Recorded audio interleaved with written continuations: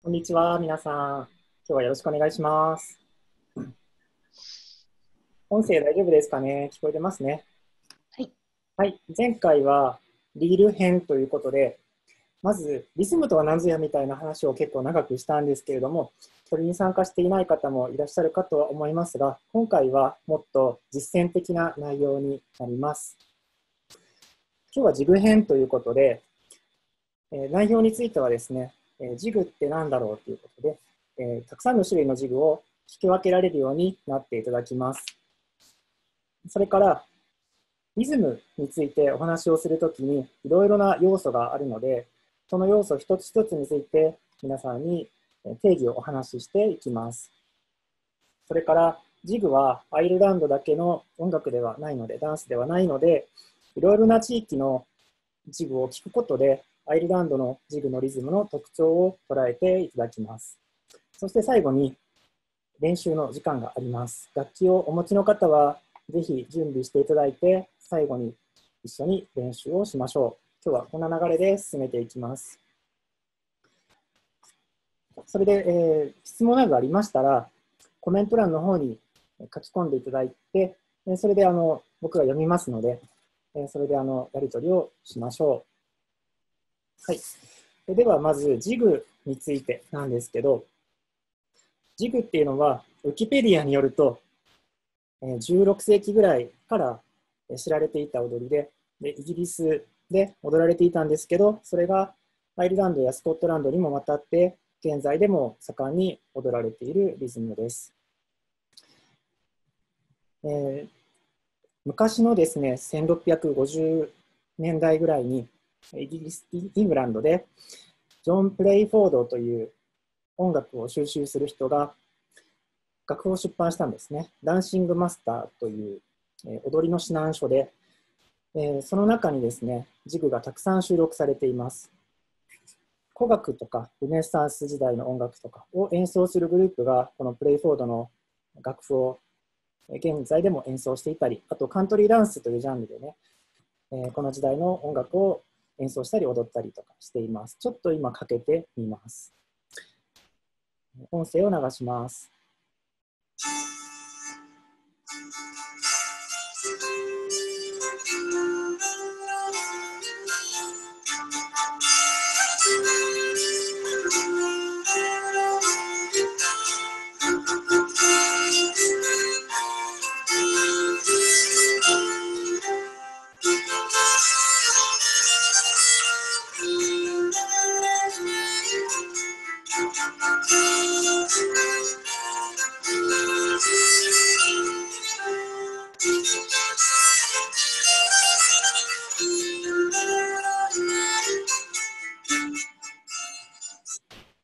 とこんな感じでした。音量は大丈夫でしたか？大丈夫ですね。え聞こえにくいとかあったらコメント欄の方にお願いします。ジグは1拍に3つ音符が入っているリズムというふうに捉えていただければ良いです。えでは、アイルランドのジグについてお話をしていきます。はい、表を用意しました。画面の方をご覧ください。はい、こんなふうにですね、えージグを分類しています。まず単位というところなんですけど、1拍に入る音符、リズムですね。3つの音符があるのが、えータタタタタタタタタタタタ。そしてもう一つは、タタタタタタタタという、えータイプがあります。まず大きくこの音が詰まっているタイプと、伸ばす音がたくさんあるタイプがあるということを理解してください。そして一般的にはジグというと、この8分の6拍子のダブルジグのことを指します。8分の6と言っても3たす3で6なので、1、2、1、2、タタタタタタタタタタタタの2拍子で、え数えます。じゃあちょっと実演をします。ダブルジグです。Thank you.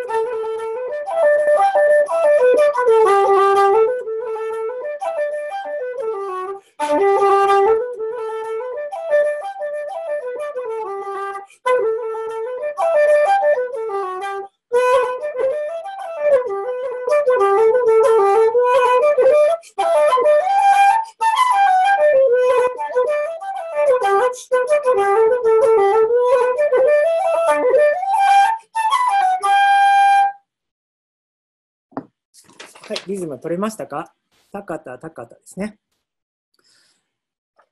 それに対して、このタータ、タータというのが基本になっているのがシングルジグです。8分の6拍子であることはダブルジグと同じなんですけど、音符の数がタータ、タータとちょっと少なめなんですね。では、実演します。あすみません。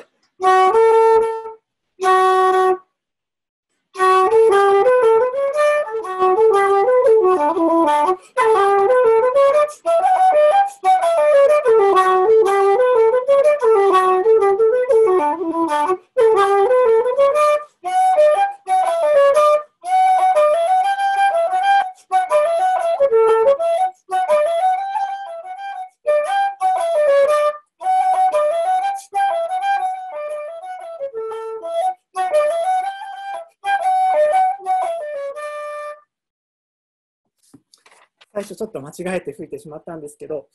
今演奏したリズムがシングルジグです。タータタータタータタータ。ただし、常にタータなのではなくて、今演奏したように、タカタタカタタカタみたいな一部分だけ、えー、3連符のような、えー、この1拍に3つ入るところがあったり、あとはこの伸ばす音をカットとか、えー、タップとかロールとかいう指のアーティキュレーションで区切ることで、タカタカ、タカタタカみたいに演奏をすることができるので、えー、絶対ずっとこのままというわけではないのはご注意ください。今はざっくりと音符が詰まっているのがダブルジグで、音符がついているのがシングルジグ。こんな風に分けてくださったら良いです。えそして次、えー、たくさんの種類があるんですけど、これ全部ね、あの聞き分けられるようにするのが目標です。はい、では次こちらです。高田なんだけど、8分の6拍子ではなくて、8分の9拍子、3拍になるのがスリップジグです。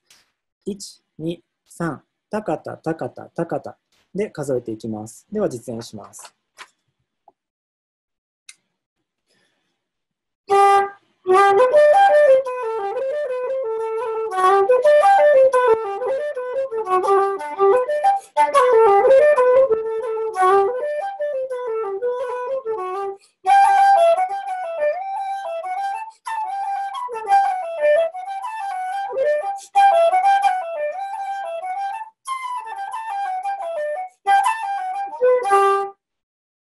はい、高田、高田というリズムで、えー、3拍子でした。これがスリップジグです。そして、スリップジグにも実は、この詰まるのと、こっちの音符が詰まらない、えー、伸び伸びる音がたくさん入るタイプというのがあるんです。えー、ここにもね、スリップジグって書いてありますね。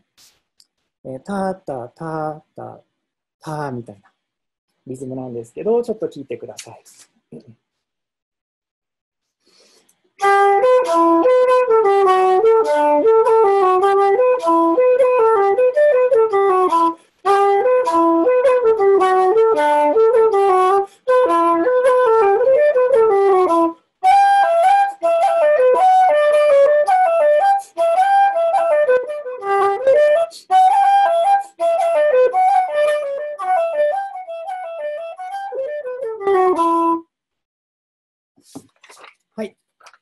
演奏したのはこれですね。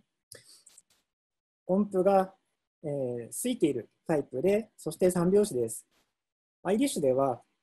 この音符が詰まったスリップジグと音符がついているスリップジグは名前の上では区別しません。だからどっちもスリップジグなんですが、実はスリップジグには音符が詰まっているのとついているのと2つあるということを覚えておきましょう。では次いきます。ホップジグってここに書いてあるんですね。あれ、スリップジグとホップジグ同じなのかということなんですけど、このスリップジグの中で音符が空いているタイプの曲の一部は、このようにタカタカタカというふうに演奏することができます。すべての曲がというわけではないんですけど、そのように両方で演奏できる曲というのがあるんです。ちょっとやってみましょう。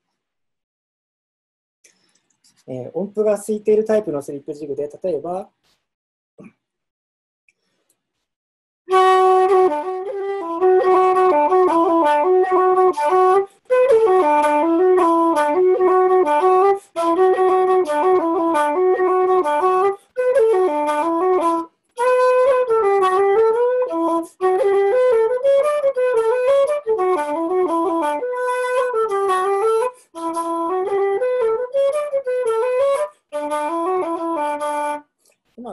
1、2、3、タタタカタタで数えますが、これを。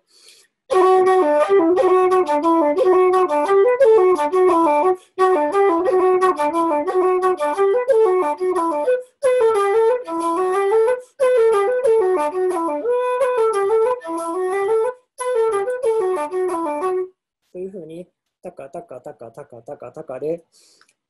真ん中の音を詰めて、え跳ねない感じで演奏することができます。これがホップジグです。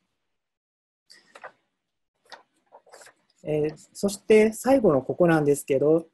シングルジグのこの音符が空いているタイプが、えー、速くなって、そして8分の12拍子、つまり大きくとって4拍子ですね。1、2、3、4になるとスライドと言います。これもすべてのシングルジグがスライドとして演奏できるわけではないし、そしてスライドとして演奏される曲がシングルジグとして演奏できるわけでもないのですけれども、両方兼ねているような曲もあります。スライドを弾いてみます。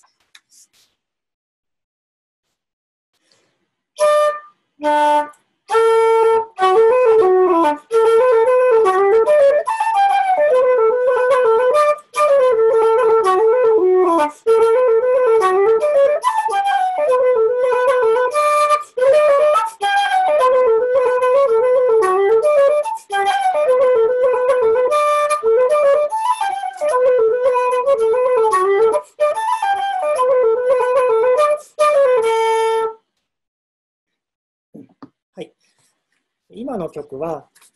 タカタタカタカタカみたいに音符が空いているところと詰まっているところ両方あるんですが、全体の感じはタカタカタカタカというリズム感です。そして、例えばこんな曲ですね。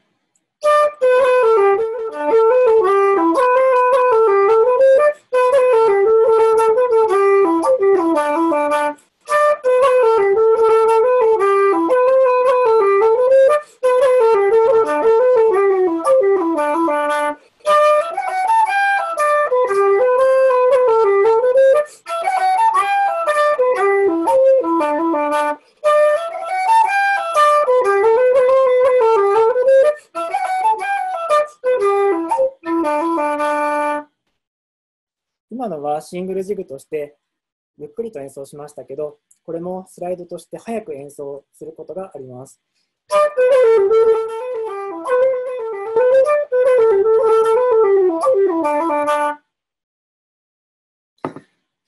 スライドの特徴なんですけど、ジグは後でまたお話をしますが、アイルランドのジグは鉛があります。3つの音符をタカタタカタと均等に演奏せずにタカタ、タカタ、タカタ、タカタと不均等なリズムで演奏をします。ですが、スライドになると、テンポが速くなるというのもあって、その不均等さがだいぶ分かりづらくなって、均等に近づいていきます。タカタ、タカタ、カタカタ、カタカタ、タカタカみたいな均等なリズムで演奏をされることが多いです。それから、えっと、4拍子になるので、1、2、3、4、トン、トン、トン、トンで、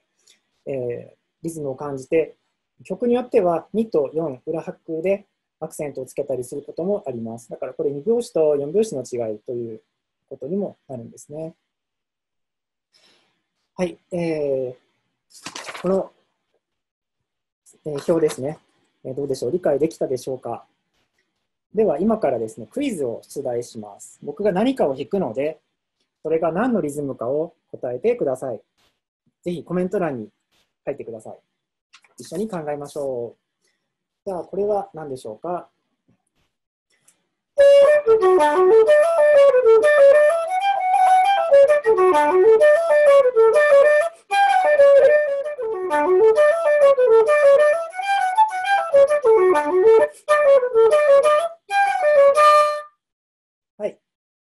わかりますか？反応がないとちょっと寂しいので、皆さんぜひ反応してください。今のは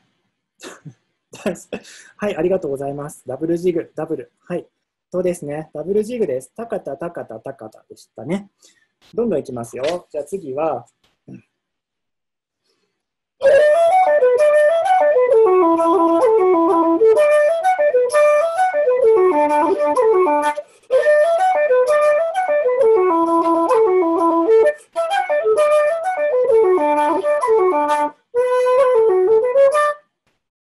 これは何でしょうか？スライド。うん。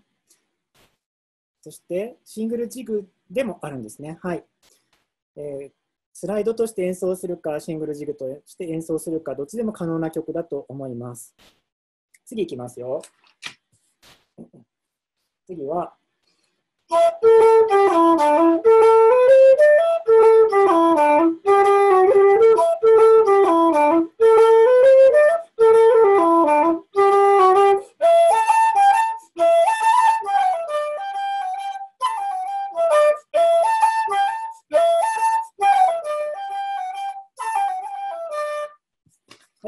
しょうか？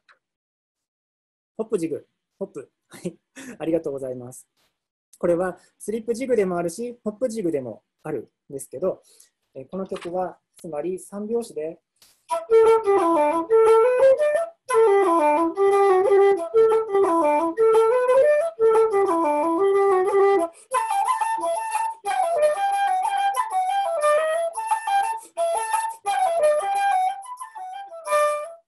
な風に演奏することもできますから、ホップジグとも言えますね。そしてこの違いなんですけど、アイルランド人もはっきりとこの曲はスリップジグだ、ホップジグだ、シングルジグだ、スライドだっていうふうに完全に分けているわけではないんです。えー、人によって解釈が違ったりもします。それからもう一つはですね、えー、この曲をメドレーで弾くときにシングルジグとダブルジグをくっつけたりとか、ダブルジグとスリップジグをくっつけたり、いろんなくっつけ方が可能です。まあ、ただし、ダブルジグとテンポが違うスライドをくっつけたりっていうことはないです。ダブルジグからスリップジグに行ったり、スリップジグからシングルジグに行ったり、みたいなことは可能です。ただ、えー、さっき言ったこの音符が詰まってる系、ついてる系というのを理解しておくと、セットにしたときに違和感が生じるっていうのが、えー、分かるかと思います。えー、違うあのリズムをくっつけたときですね。例えば、えー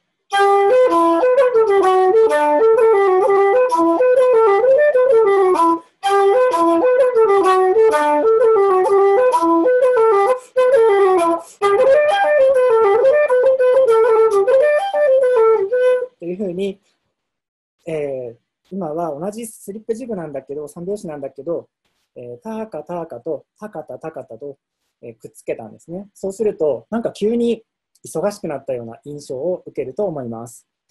こうビートがずっと同じでも音符の数が増えたので、なんか忙しくなったような感じを受けるかと思います。ダブルジグとシングルジグも同じですね。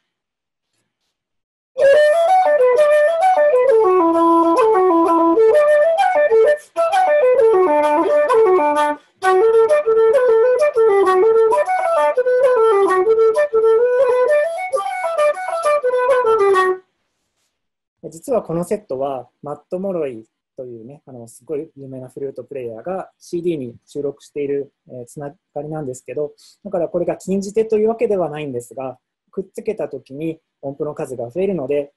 忙しくなったような感じを受けるかもしれません。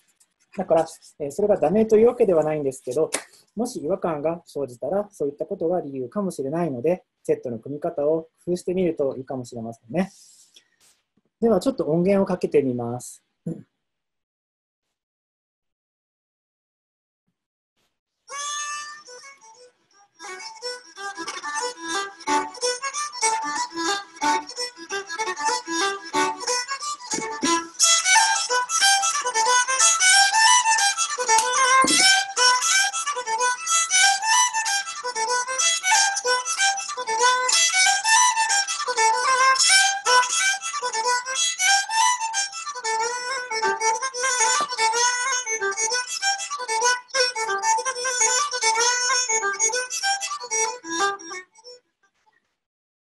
曲をご存知の方多いかと思います。この曲はバタフライというアリッシュセッションでも定番の曲なんですが、この曲はボシーバンドという1970年代に登場したバンドによって有名になりました。今の演奏はこのバタフライを作曲したと言われているトミー・ポッツという、えー、ボシーバンドよりもちょっと古い世代のフィドル奏者の演奏でしたけれども皆さんがよくセッションで聴いたり、えー、弾いたりするバージョンとちょっと違いましたね。えー、皆さんが知っているのは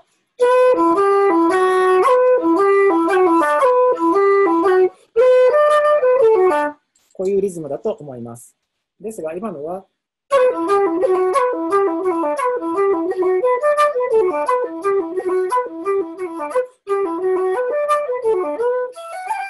こういうリズムで演奏していました。なぜだか分かりますか？お分かりですね。これ、だからです。はい。ホップジグなんです。バタフライはスリップジグとして有名なんですけど、実はこの曲はホップジグでもあるので、トミー・ポッツはホップジグとして演奏していたということなんですね。だから、CD とかを聴いて、あれ、この曲知ってるんだけど、なんかリズムが違うなって思ったら、ホップジグとスリップジグの違いなのかもしれません。はい、えー、では、ジグについて皆さん整理できましたね。次の話に行きます。リズムのことを考えるときに、リズムを構成するいろいろな要素があるので、それについて整理をしていきます。まあ、前回もお話したことがかぶってくるんですけれども、えー、今回初めての方もいらっしゃいますから、一つずつお話していきます。まずビート。ビートですね。ビートは心臓の鼓動のこと、ハートビートっていうように、ドン、ドン、ドンっていう一定の間隔でアクセントが来ることをビートと言います。アイリッシュでは足踏みをするところがビートだと思ってください。ビートっていうのは、えー、こう、1つ目のビートから2つ目、3つ目、4つ目というふうに、どんどんこう同じ感覚で進むというふうに想定されるものです。そうでないと不整脈になってしまいますからね。えー、例えば、この1個目から2個目が10。この10の単位は何でもいいです。えー、1秒でもいいし、10センチでもいいし、何でもいいんですけど、まあ、10としましょう。10、10、10と来たら、次も10だって当然皆さんは思うはずです。えこういうふうにビートっていうのは、いくつか聞いたら、もう次ずっとそのまま行くんだろうなと予想されるものですね。では次です。テンポです。ビートの間隔が狭いのがテンポが速いと表現されます。ビートの間隔が広いのがテンポが遅いと表現されます。わかりますね。えー、タンタンタンタンって言ったらってタカタタカタみたいな、えー、この間隔が狭いとテンポが速い。次、えー、ノート、音符です。ノートっていうのは、えー、ビートとビート1と2の間にある音符のことです。これですね。で、1個目も含みます。だからノートは3つですね。軸の場合は、基本的には1拍に3つの音が入ると理解してください。そして次、タイミングです。タイミングっていうのは、えー、例えばこの3つ全部1センチ間隔で並んでいるとしましょう。そしたら当然ここも1センチだよなって思って皆さんは音楽を聴いてると思います。そして、ここに対して例えば0.9センチのとこで発音するのか、1.1センチのとこで発音するのか、みたいのがタイミングですね。次、ここって想定されるとこに対する音の出方のことです。次いきます。スイング。スイングっていうのは、8分音符が3つあるときに、こうメモリで定規で線を引いた感覚通り均等に演奏するのがこれですね。ダダダダダダダダダダダダそして、えー、微妙に揺れるのが不均等なリズムですね。前回リールの講義の時にリールは不均等なリズムで演奏されていますっていう話をしました。リール、ジグに限らずアイルランド音楽は均等に演奏するということはまずないんですね。そしてジグの場合は、アイリッシュジグでは1個目の音が長めになります。タカタタカタタカタタカタ。あるべきその均等な位置がここだな、2個目の発音はちょっと遅くなります。僕の考えでは3個目は多分そのままの位置だと思うんですけど、これも人によるのかもしれません。これが不均等なリズムで、でこの不均等なリズムが周期的に繰り返される。これちょっと言葉がね、あ言葉の嫌ですけど、不均等なのが均等に繰り返されていくと、ノリが生まれます。それをスイングと言います。次、ボリュームです。たとえ均等に演奏していたとしても、1個目の音を強く演奏することができますね。そうすることで、脅迫をより強調して演奏することができるので、ダンスの人が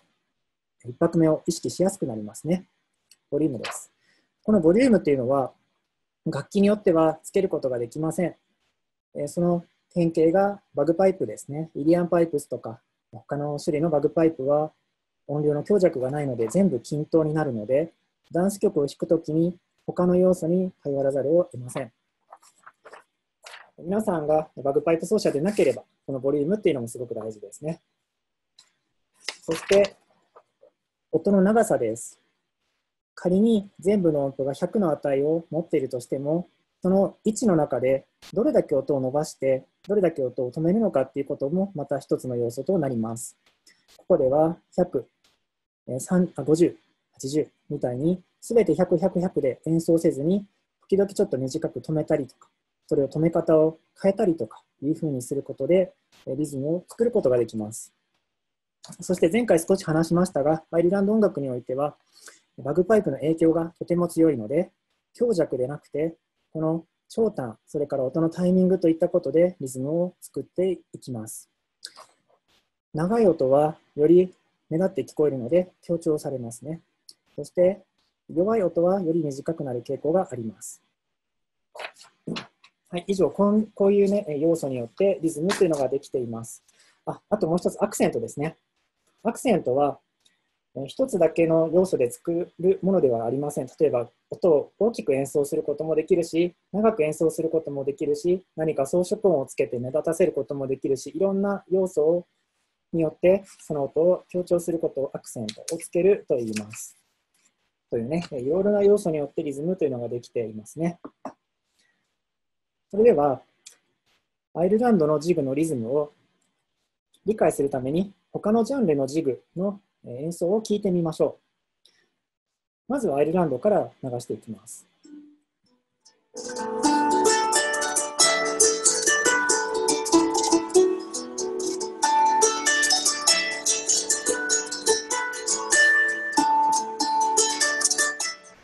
これはハープの演奏ですが、どうでしょうか？タンティタタンティティティティティティティというふうに不均等に演奏している様子がよくわかりましたね。次です。同じくアイリッシュです。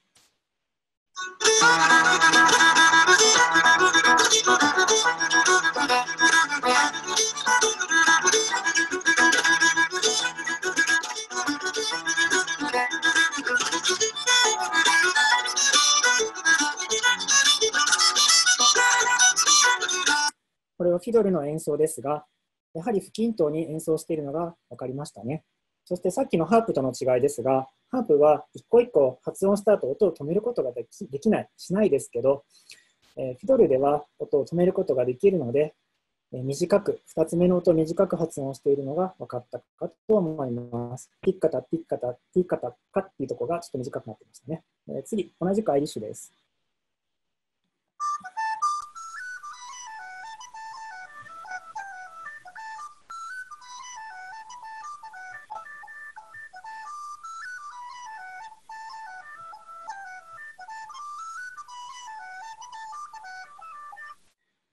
れはホイッスルの演奏ですが、やはり不均等なのが聞いて分かったと思いますが、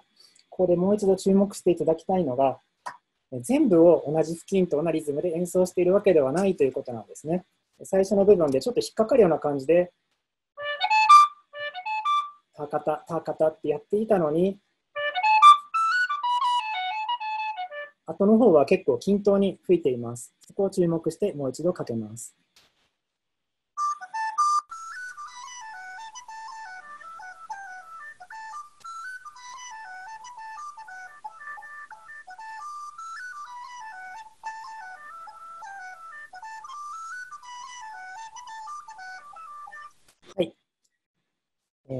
でしょ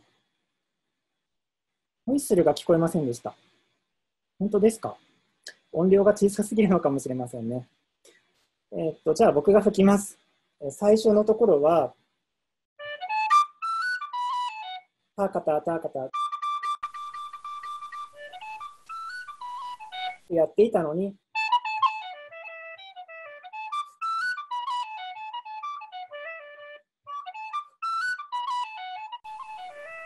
というふうに後の方はタカタタカタの均等なリズムに近づいていました。えここで大事なことはアイリッシュのリズムがこうだっていうのがあるとしてもないんですけどあるとしてもずっとそれでいくわけではないということなんですね。それは演奏者の任意でリズムを変えることができるということを知ることができますね。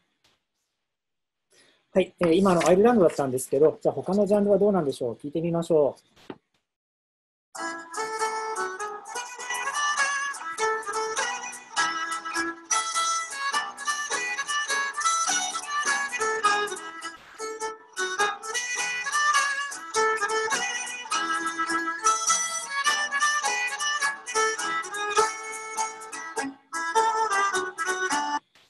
聞こえますか？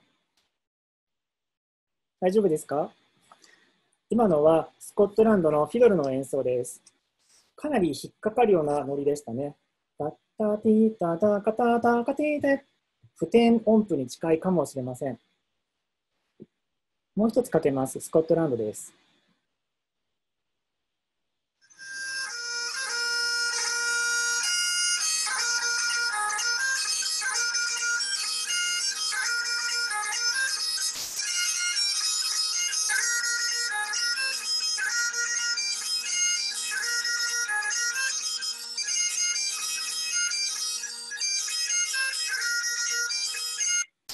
はい今のはスコットランドのバグパイプの演奏です。バグパイプは音量の強弱がないので、かなりタイミングを強調して、タイミングというか長さを強調していましたね。えー、シャープな感じの点音符、ターカタターカタターカタそしてスコットランドのリズムの特徴として、スコッチスナップといって、タカータみたいに逆不点につまめるリズムがあるんですけど、時々フィドルやパイプの演奏では、ターカタータータカタタカタタカタタカタタカタタカタタみたいにつんのめったリズムが入ることもあります。はい、以上がスコットランドでした。そして次はイングランド、ウェールズを聞いてみます。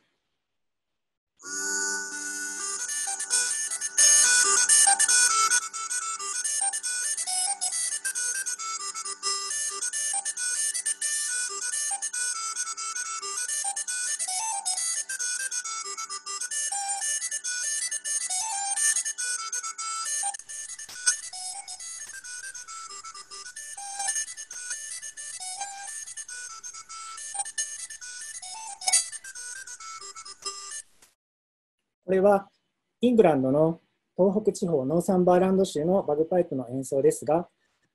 これはジグなのに、もうなんか、タカタ、タカタ、タカタ、タカタみたいに、えー、16分音符2個と8分音符1個ぐらいの感じで、3つ目の音符が長くなっていますね。タカタ、タカタ、タカタ、タタ、タカタ、タカタ。こういうふうに、えー、アイルランドと正反対に後ろの方にこう伸ばす、3つ目が伸びるっていうのがあります。もう一つ聞きましょう。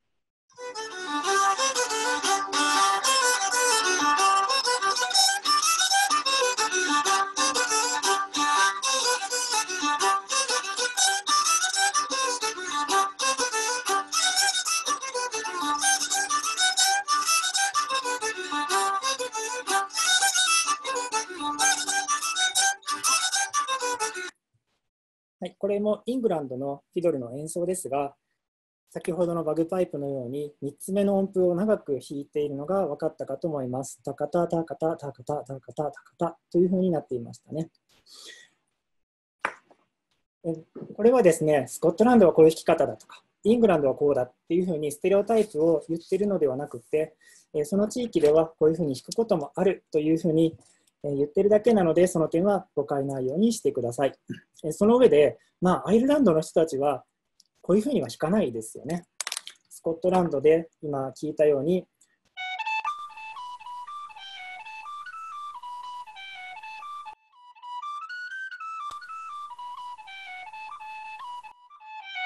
ていうふうに弾くと、もうなんか全然アイルランドっぽくなくなっちゃうし、そして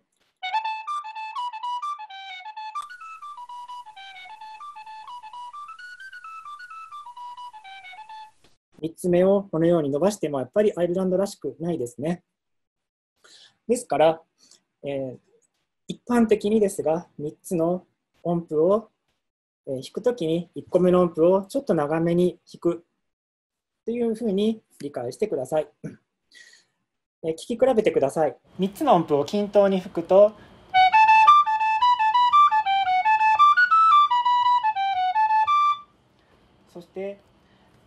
イルランド風に不均等に吹くと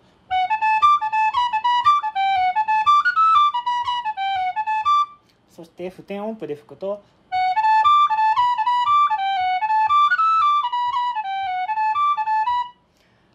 違いが分かりましたか？はい、えー、というふうに、えー、アイルランドのリズムなまってるということなんですけどこのリズムはえー、どうしてかっていうとまず一つは僕は英語の影響があると思ってて英語って、えー、強調する音が伸びるんですね。アクセントの音が伸びるという性質があってよくアイルランドのレッスンなんか行くとハンプティー・ダンプティーハンプティー・ダンプティーと言いなさい唱えなさいと、え言われるそうです。アクセントの音を長くするのでハンプティー・ダンプティーというふうに発音するとアイルランドのジグのリズムらしくなると聞いたことがあります、えー、では次に行きますよ。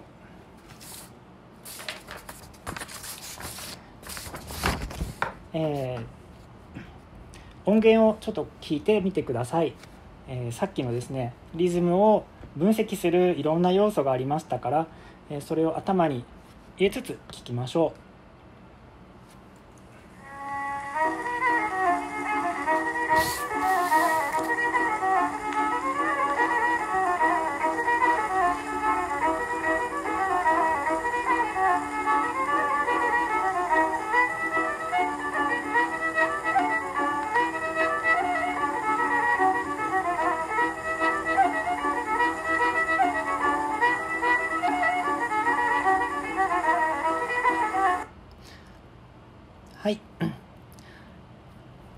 はマイケル・コールマンという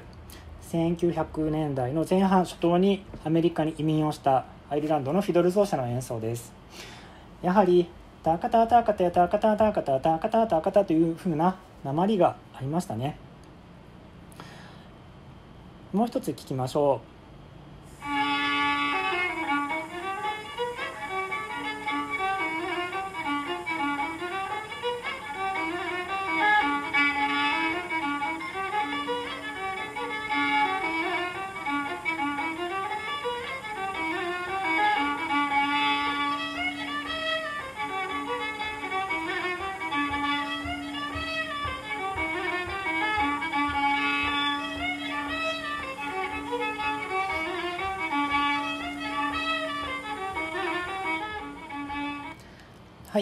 これも同じフィドルではあるんですけどさっきのマイケル・コールマンの演奏とはだいぶ違いますね、えこの人はパトリック・ケリーというフィドル奏者の、え演奏でしたけれどもなんか引っかかるようなティッカタタッカタティッカタティッカタティッカタみたいな1拍目の音が、えー、詰まるちょっと短めに発音されていたのが分かったかと思います。アイルランドのジグのリズムは何かというとこれはいろんなリズムがあるので一つの正解っていうのはないんです、えー、ですからいろいろな人の演奏をさっきのこういったいろいろな要素ね。で分析して自分が好きなリズムは何だろう。誰のリズムが一番聴いてて心地よいかなというのを考えながらねリズムっていうのを作ってみてください、えー、それでは実践編に移っていきたいと思います。ここからちょっと画面を共有して楽譜を表示して皆さんと一緒にできれば音を出してみたいと思います。はい、えっと、今画面共有してるんですが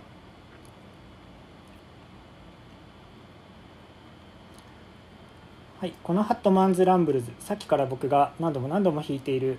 曲ですねセッションでもよく出る曲です一回僕が演奏してみます。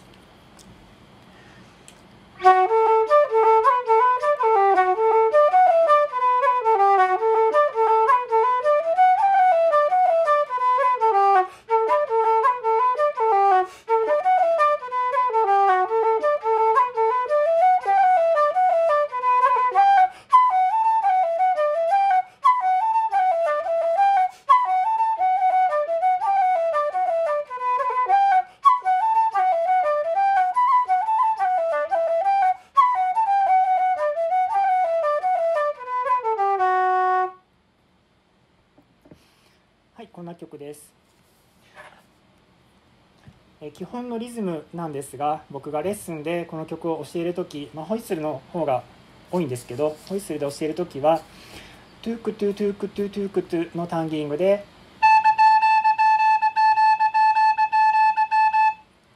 ジグのなまったリズムを練習してもらいます。これがトゥクトゥトゥクトゥとかじゃなくて個目が長くて2個目がちょっと短い。そして、えー、それぞれの発音のタイミング長さですね。が不均等になっています。あと息は1個目の音をちょっと出してタカタタカタ、まあ、極端に言うとこういう感じでフーフーと息で押しています。ホイッスルで吹くと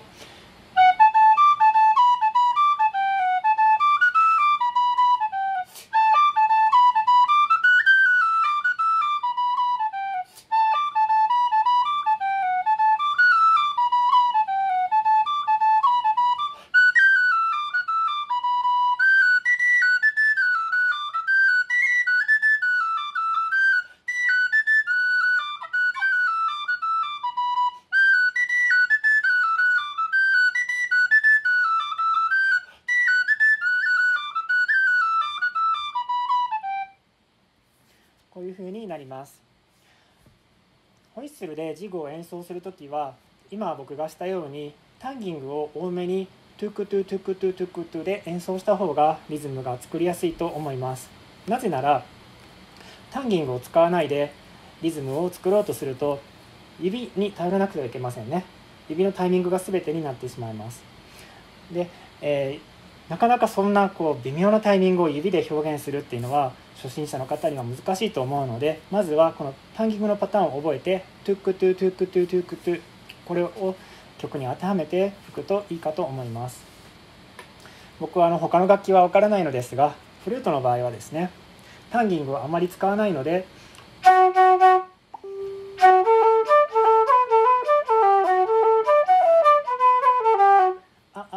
喉で発音しながら、まあ、時々タンギングも入れたりそして指で区切ったりしながらさっきのホイッスルで演奏したリズムを、えー、再現するように練習をしています。ティッタダティッタダティッタダティッタダですね。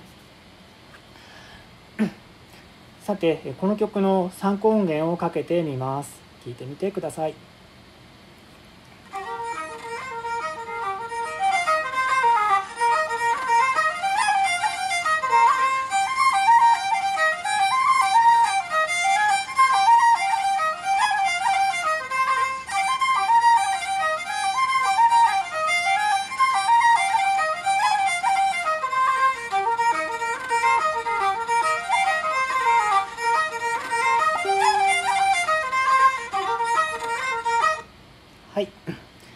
今のはマット・モロイの演奏ですけれども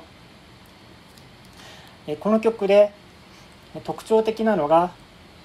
ラがずっと続いているようなメロディーということですね。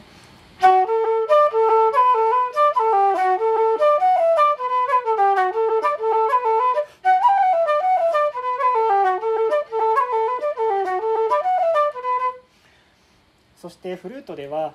レとかファの音は強く鳴らすことができる音なのでタカタタカタタカタタカタっていうこの1個目の音が強調しやすくなっています、えー、さっき説明したこのいろいろな要素っていうのは一つのパターンがあればずっとそれでいくというわけではなくってそれぞれの曲とかあと、えー、演奏している楽器の特性などによっても変えて演奏するのが自然です。では他の例を見てみましょう。はい「マグ・オブ・ブラウン・エール」という曲です。ちょっと一度僕が弾いてみます。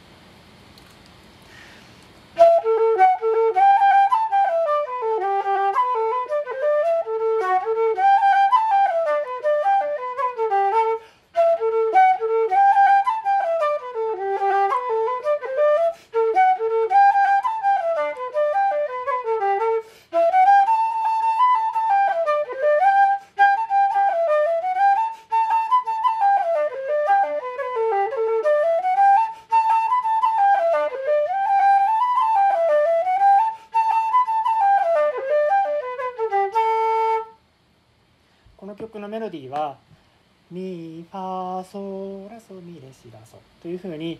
えー、ラが下で鳴っててメロディーの大事なところはミファーソっていうのが楽譜を見てもわかると思います。そして後半はダダダダンタカタタカタタカタタンラソっていう伸ばす音があるのが特徴です、えー、こういったメロディーの流れを無視して全部同じパターンで演奏するとどれを弾いても同じ演奏になってしまうのでメロディーのこういう見た目の特徴っていうのも活かしてみてください。どうするかというとこの特徴的な音を長く強く発音します。例えば均等だと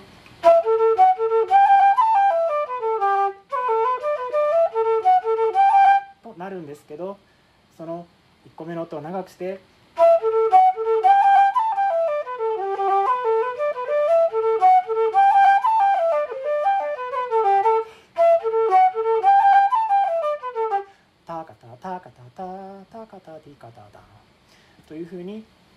調することでよりメリハリがつきますね。そして、えー、階段上にずっと降りていくところラソミレシラソみたいなところはそこを強調してタカタタカタタってやると凸凹な階段になってしまうのでそこは割と均等めにあんまり凸凹させずに吹く、えー、というふうに上級者になるとこういったことも考えて演奏するとその曲の良さがより出るかと思います。もう一つ例を挙げてみます。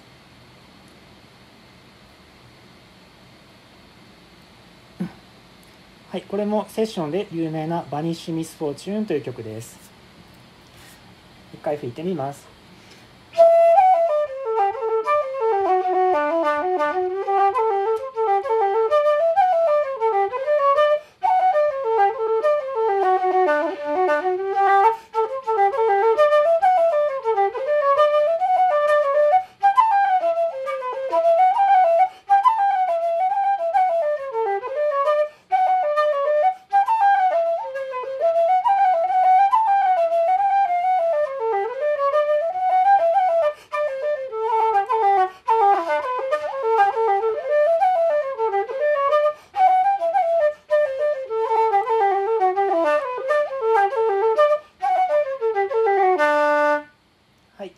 感じで演奏しましたがジグは1拍目が強い長いって、えー、いうふうに決まっているわけではないんですね。このアイリッシュフルートではレの音とかファの音とか強く吹ける音があります。フィドルだったら開放弦の音がよく響くので気持ちいいですから開放弦の音をガーンと響かせて弾いたりもしますね。それで例えば A パートではこうではなく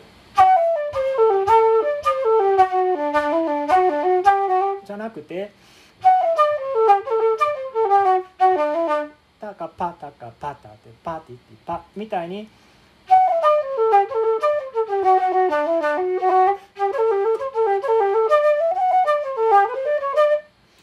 最初の2小節を裏拍で取ってその後の2小節を表拍で取ってみたいにアクセントの位置を変えて演奏することも可能です。B パートでは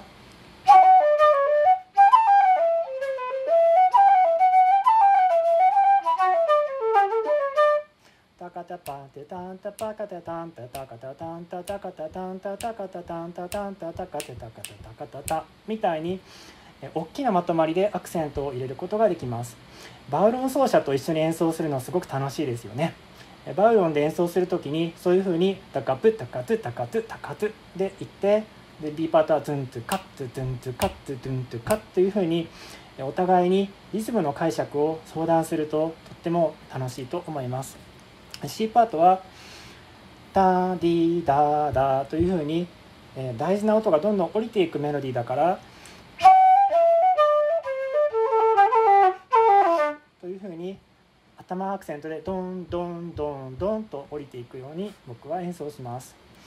そのように複数のパートがある曲は3パート以上の曲はそれぞれのパートの特徴をしっかりと考えて演奏で再現するとメリハリがついて楽しく演奏できると思います。ではちょっと吹いてみます。